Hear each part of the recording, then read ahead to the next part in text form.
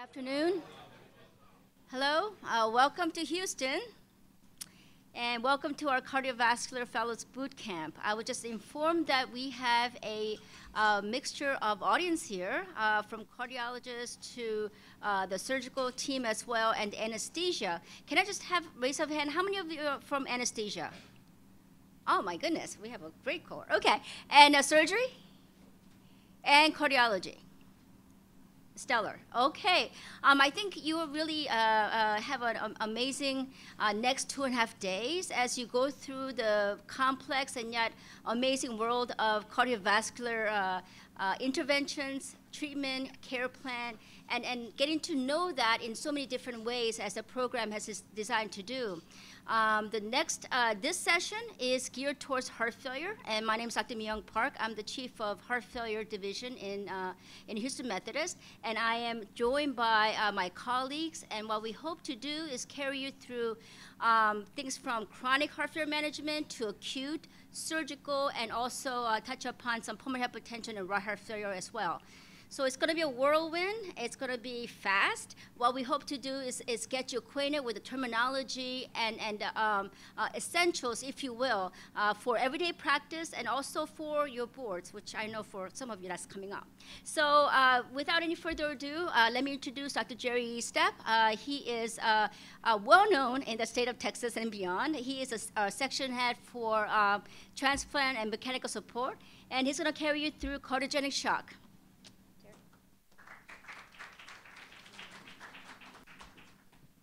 Okay, del delighted to be here and delighted you're here. And so this is um, supposed to be, meant to be an overview. And what I want to do is just focus in on, as mentioned, some terminology, but expose, your, expose you to the different device options that we have. And cardiology is an exciting time, especially in the era of mechanical circulatory support because of improvements in technology. And Dr. Guha is going to comment on these permanent VADs really focusing in on the short-term devices, and here's my, are my disclosures. So what I'd like to do is just provide an update on shock.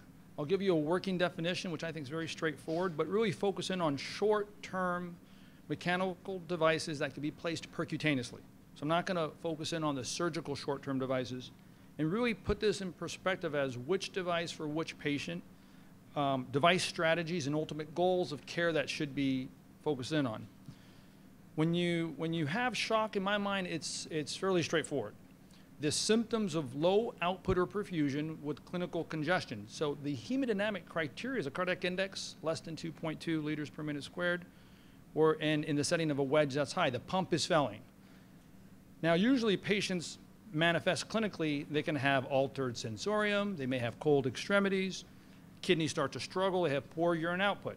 And when you see patients with well, even if it's relative hypotension, but certainly with blood pressure is less than 90 in the setting of tachycardia, some of them may be pacemaker dependent, may not mount a tachycardia.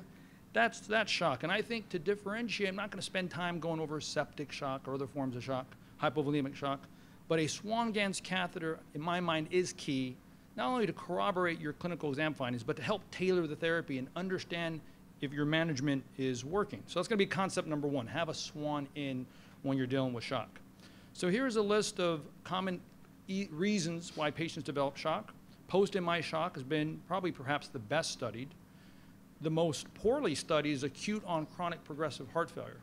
And we certainly know that this is not a negligible reason for patients to be in the hospital in terms of burden, number of patients, and how sick they can be. But we go through this list in terms of myocarditis, transplant rejection if they've had a history of heart transplant, valvular disorder certainly, and then others as, as listed here.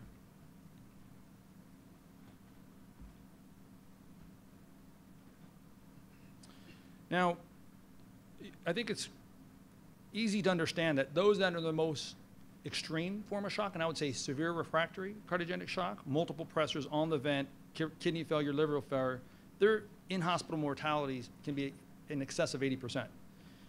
I would argue that there is a spectrum of shock. In patients that are inotrope dependent but start failing, we call that INTERMACS 2. These patients, their in-house prognosis, let alone one-year prognosis, can be poor. And what I want to highlight with this slide is that we don't take patients either in the extreme state, severe refractory shock, um, to permanent LVAD or major thoracic surgery, is their survival is compromised, perioperative survival. So I think around the country, it is fair to say that patients presenting in the most extreme form, we're pursuing short-term device for optimization.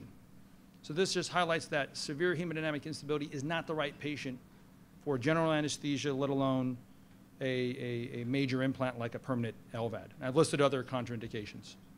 So let's get to the nuts of the, and bolts of the talk, if you will. How many have been exposed to balloon pump? So vast majority, if not everybody. What about one of the three Impella devices or four devices? Raise your hand. So Abiomed, certainly we know by market share at least, is, is, is acquired a significant in terms of utilization. Tandem Heart, by cardiac assist, a few. And ECMO, central peripheral ECMO.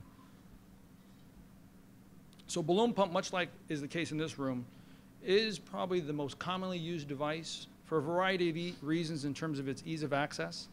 And it is um, actually indicated for both ischemic and non-ischemic in terms of complications of, of heart failure. And here's the breakdown of, of indications. But in our world with heart failure, it's acute on chronic heart failure presenting with low output symptomatology. Not all balloons are created equal.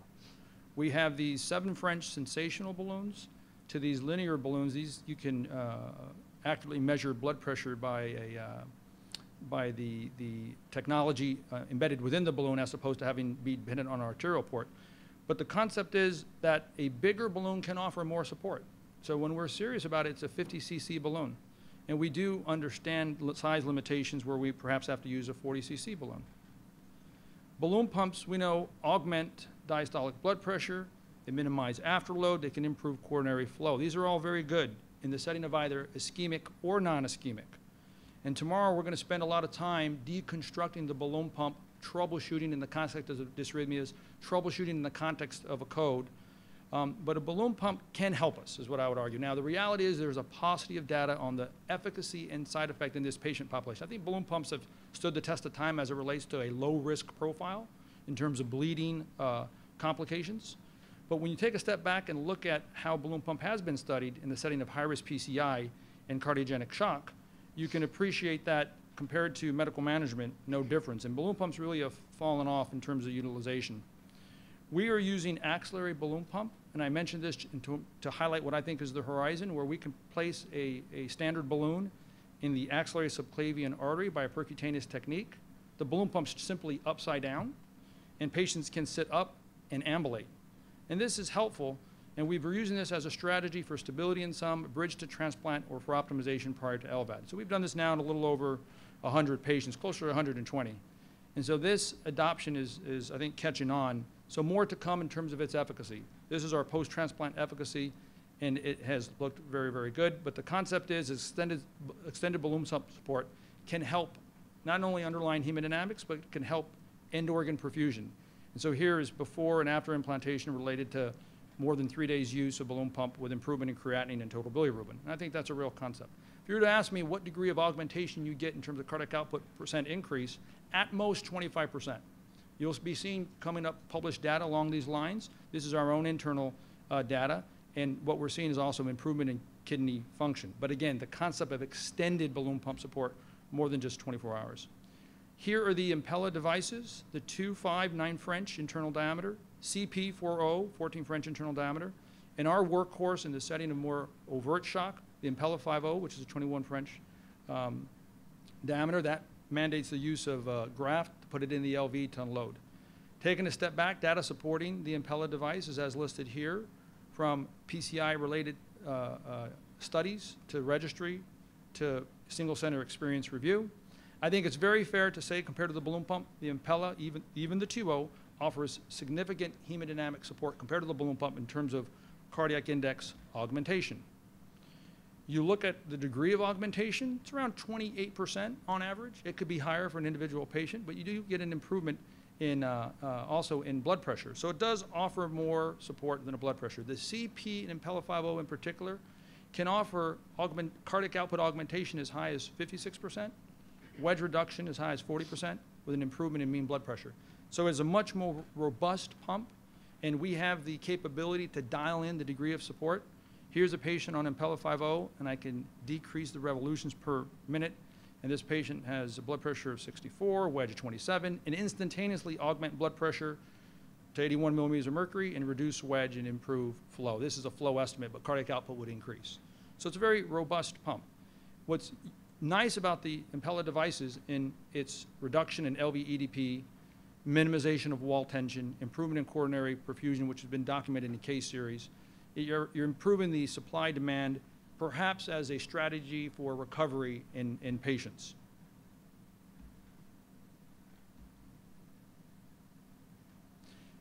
What's nice and the goal is to try to wean off the inotropes and or pressors, which we know challenge that heart and increase wall tension. And this has been demonstrated in acute on chronic heart failure and in the post-cardiotomy state. I think lactic concentration should be measured in, in shock. And when you have lowering lactic acid levels, that's a sign of improvement in perfusion and a sign of improving the, the overall state for the liver, kidney, and the brain and for your patient. So the, here's the Impella 5.0, Dacron 10 millimeter graft placed into the ascending, then into the LV. There's the positioning by x-rays. And again, patients can sit upright and ambulate. Only one recent trial comparing, in particular, the CP versus the balloon with a mortality endpoint. Very challenging patient population to study. Um, there was no difference in mortality, but nearly half of these patients were, one can argue, poor candidates, anoxic encephalopathy, uh, really overt end organ failure. So the jury's still out in my mind in terms of the role of CP versus balloon, at least as it relates to survival advantage. Right now, there is no data to suggest that. So the guidelines are evolving. Uh, last updated in 2013. I can tell you that the HFSA, uh, working with uh, uh, interventional societies like TCT, um, are looking to better define the role of echo. Just to give you the updated FDA indication for the Impella devices. For the Impella 2.5 and CP, up to use to four days, and for the, for the Impella 5.0, um, up to six days. And we are still um, extending support in select patients beyond that with the concept of improving the heart. Now, given the time, I'm coming up at a few minutes, started a few minutes late. Um, I'm not going to spend a lot of time on tandem or um, ECMO, as you all highlighted. These are less common. The tandem can offer just as robust support as the Impella 5.0. It's a centrifugal pump that sits on the, I'll go back, sits on the outside of the body. You draw from oxygenated blood from the left atrium, across a transeptal puncture, and reperfuse via the iliac artery system. And very robust unloading in terms of wedge reduction and augmentation of, of flow. Limited data regarding the role of tandem heart compared to the Impella devices. Compared to balloon, we know certainly it offers more support. But the real issue in my mind is creating a atrial septal defect and the risk for LA thrombus. And so it requires more percutaneous skill set, a higher degree of percutaneous skill set. Peripheral AV ECMO is the most robust. You can add, with an oxygenator and, and a pump, you can take um, deoxygenated blood from the right atrium and deliver it to the iliac system, similar to the tandem, but, but from the right atrium versus left atrium. But you can improve gas exchange. Now, a concept is as you increase ECMO support, LV EDP will increase. So you must vent the LV to re reduce pulmonary edema, to reduce complications, considering an exit strategy. So many centers like ours couple peripheral AV ECMO with a balloon or with an Impella device to mitigate that increase in LVDP that can be seen at higher levels of support. ECMO is a real challenge in terms of what it may mean in terms of severity of illness for that particular patient. And when you look at post-transplant or post-LVAD outcome where ECMO was used as a bridge, it is not as ideal as we would like. Now this slide highlights that and you see the difference in the Kaplan-Meier curve blue versus red. So it's certainly a challenge. So this is one of the take-home slides. As you increase device support in terms of augmentation of flow, it's bigger cannula, more bleeding, more leg ischemia. You must go through this contraindication list. You have mechanical aortic valve going across the valve is contraindicated. Significant AI is contraindicated for balloon pump left atrial clot or severe peripheral, per, severe peripheral vascular disease is a contraindication for any device where we're going through the growing. So this continues to evolve. And so this is the treatment algorithm, I think, at our institution using balloon pump early, monitoring with Swan-Ganz, following end organ perfusion, and escalating to higher support if needed. And I'm going to show you two more slides to end. And that really is highlighted here. This is our algorithm. Our team is heart failure cardiologists and arthrothoracic surgeon. We have a robust LVAD transplant program. If we have severe refractory shock with overt hypoxia, acidemia, we're thinking peripheral AV ECMO with a vent. If it's left and/or right side of heart failure from left side of heart failure, balloon pump, interval subsequent analysis in the order of a few hours. Based on urine output, hemodynamics, lactic acid levels, we will augment to an Impella 5.0. One can consider an Impella CP. But you must have an exit strategy. Are you bridging this to recovery? In an end-stage heart failure profile, it's really as a bridge to bridge to permanent LVAD or to transplant. In some, their candidacy remains poor and you pursue palliative care. So a team approach is key to put this in perspective. I would highlight tailored degree of hemodynamic support to the, to the type of device and to the patient profile, which will guide you. I think that this continues to evolve. Here's the consent, latest consensus statement for you to review from the societies. And protocols, being familiar with one or two devices, having the full armamentarium, while helpful, being an expert in one or two, in my mind's better, and understanding the trajectory. I appreciate your attention. Happy to take any questions. Thank you.